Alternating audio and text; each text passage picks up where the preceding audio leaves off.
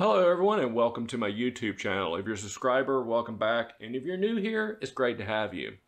Uh, today I have with me the Roborock S7. This is the newest announced robot from Roborock and it was released on the market for sale uh, on March 24th. Now some of the biggest hype around this was around the mopping, new mopping feature. The VibraRise as Roborock calls it. Has the ability for this mopping pad here to lift and lower itself. Also has the ability to vibrate here in the middle up to 3,000 revolutions per minute to help scrub those stubborn stains off of your floor. And until the auto empty dustbin gets released a little bit later this year, this is the biggest news from Roborock right here. And so I am going to put this through a series of tests up against my S6 Max V to see how well this new mop on the S7 works. Is it better than the S6 Max V? Well, we'll find out. Stay tuned. We'll go ahead and get started. And for our first test, we're going to test its ability to detect carpet and lift this mop up off of the carpet. And we'll start off here with the S6 Max V. Now I have uh, my runner rug here taped down on the floor just to make sure it doesn't move during these tests. But as you can see the S6 Max V here is going to mop my dining room and it's also going to mop the rug. In fact, it's going to pay zero attention to the rug at all. It will mop right over it. And at the very end, when I placed my hand over the rug, I could definitely tell it was pretty wet. And so that is the result you will get if you have hardwood floors or any types of floors with a runner rug or with an area rug over them. Now here's where things change quite considerably with the new S7 and the technology built into it. When the S7 is mopping and it detects carpet of any sorts, what it's going to do, and you'll see that here just a second, uh, it will start finding the perimeter of the carpet. And you'll do this by doing this kind of wiggling motion back and forth. And what it's doing is it's identifying the edge of the carpet right here and it's mapping it out. And as soon as it goes all the way around the perimeter of the rug, and it will, it does that first, it goes all the way around the perimeter, then it will start uh, in the very center vacuuming. So right now, as this thing is detecting this, it has already lifted up the mopping attachment so it is not dragging the wet mop on this carpet. It has increased the vacuum suction because I have the carpet boost function turned on in the menu. So it is now effectively vacuuming this rug and not mopping it. So now it's done the uh, perimeter sweep, you will see it now start to go and vacuum on the inside of the rug. And once it's done, this is a little small short rug just for demonstration purposes. Once it's done vacuuming inside the center of this rug, it will go back and start mopping on the outside of the rug. It will drop the mop attachment right back down and begin uh, going about its business mopping. Very cool, very innovative, and probably one of the best reasons to buy the S7. With the S7 and the new carpet detection sensor, which is different from the other models, some of you may be wondering how well it detects carpet. And I will say that every time I ran this through my test, it always accurately detected real carpet, whether it be a rug or carpet in your house, it did an excellent job detecting it. Now, there are times that it detected uh, carpet when there was no carpet on my tile. It might be because of the color coloration of my tile. And fortunately, Roborock has an answer for that. Take a look. So the dark shaded area here on the map that you see is where the S7 detects carpet.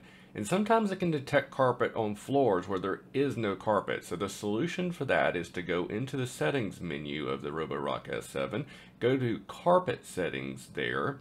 Uh, once this is loaded up, then you'll see there at the very bottom where it says ignore misidentified carpet. Go ahead and click that and then you can select anywhere on the map where there's dark shaded area where there is misidentified carpet. Like right here in the middle of my kitchen, it uh, misidentified some carpet, wasn't really carpet there. It happens from time to time. I can go in there and say delete this and it will never again, when it crosses this area, identify this as carpet in future cleanups.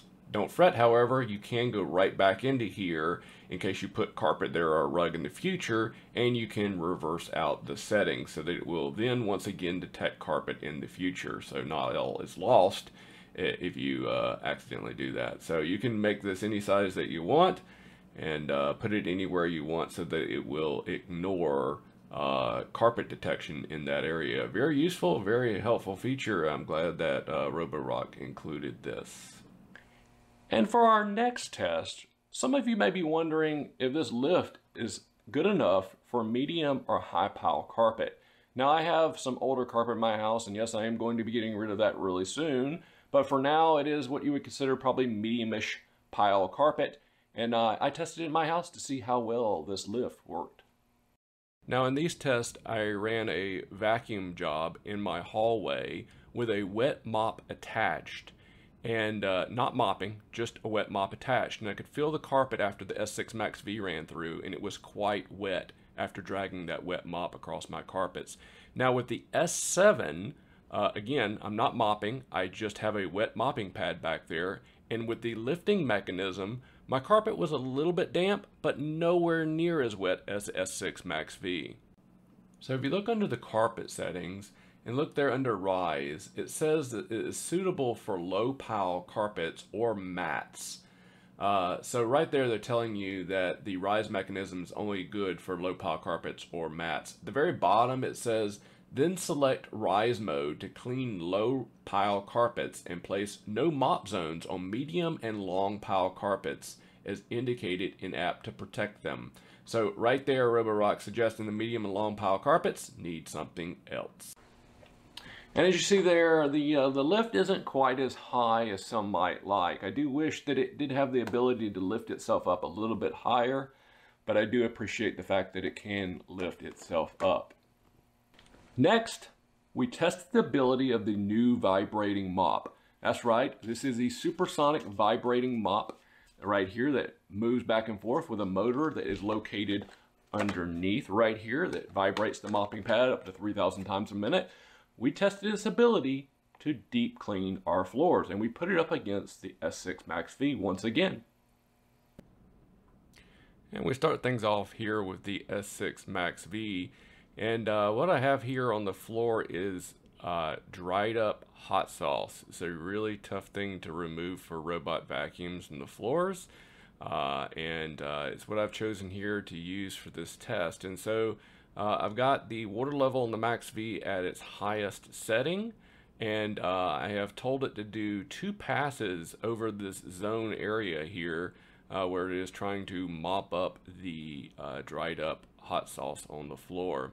And so as we take a look at it here, you can see uh, what it does after uh, two passes, and then we'll compare it to what the S7 does.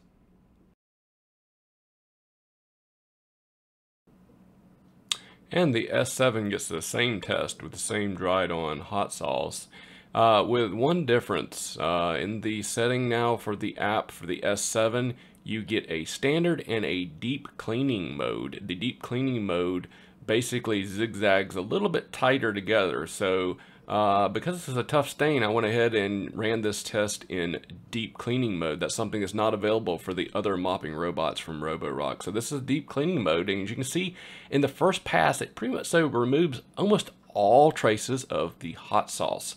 Uh, I did allow it to do two passes over it, just like I did with the S6 Max V. And here with the S7, uh, as you can see, when it does the second pass, it actually does a different pattern.